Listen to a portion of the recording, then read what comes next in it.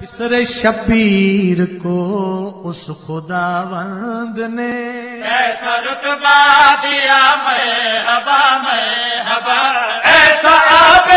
کے معبود جس کو کہے ساجدی اور زین العبا صرف سجدوں کی خاطر زمین پر رہا عرش کے اے بگی تیر کیا